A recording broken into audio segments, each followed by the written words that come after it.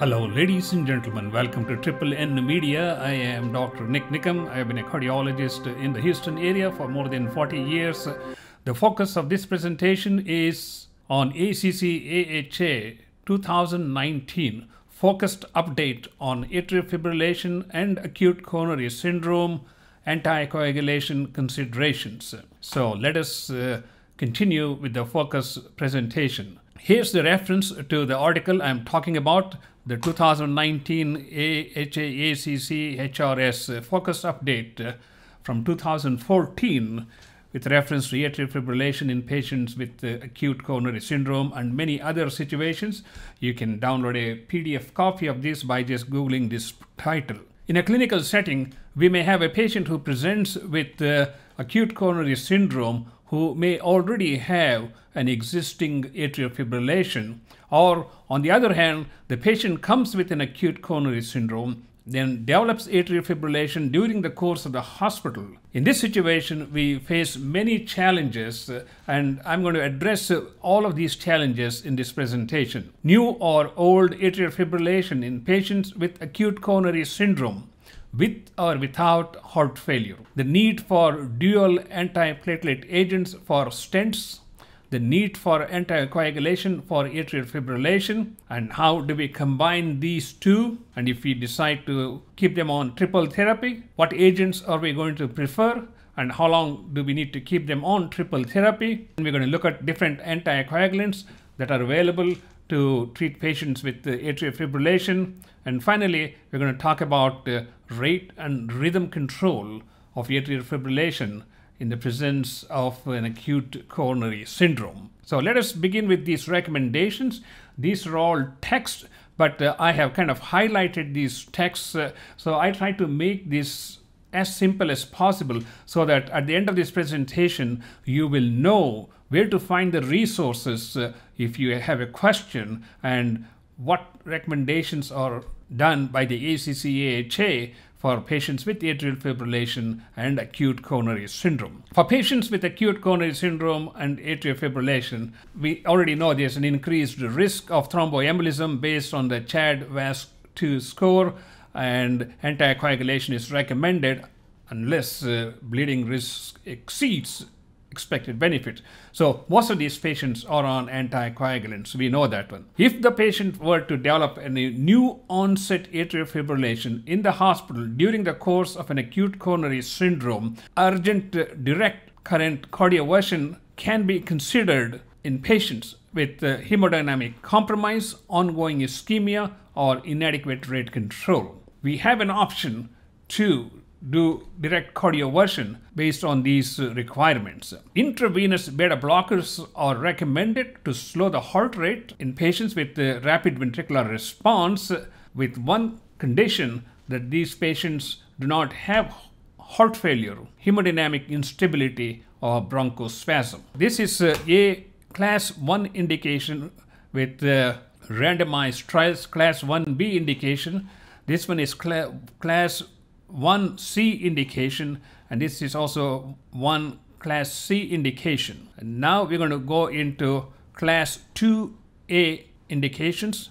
If triple therapy is recommended, even for a short duration, it is reasonable to choose clopidogrel in preference to prasugrel because prasugrel has increased chances of bleeding. The next one is in patients with atrial fibrillation at increased risk of stroke who have undergone PCI with stent, double therapy with the P2Y12 inhibitor, preferably clopidogrel or ticagrelor, and dose-adjusted vitamin K antagonist is reasonable. Let's move on to the next one. The next one is 2A indication, and uh, in patients with atrial fibrillation, low dose uh, rivaroxaban 15 milligram daily is reasonable to reduce the risk of bleeding as compared with triple therapy.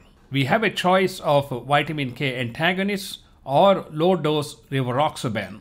And the next one deals with uh, dabigatran, and this is also a 2A indication in patients uh, with atrial fibrillation and PCI. We can use a double therapy with the P2Y12 inhibitor preferably clopidogrel along with the dabigatran 150 milligram twice daily.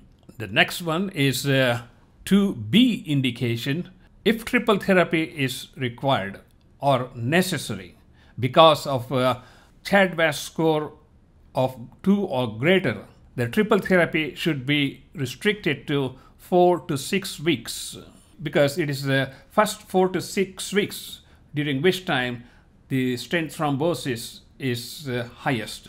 And we can use dual antiplatelet agents alone, even in patients with acute coronary syndrome and atrial fibrillation, if their CHA2DS2 score is 0 or 1. So this is an important point to keep in mind because I don't know how many patients will have a score of 0 or 1.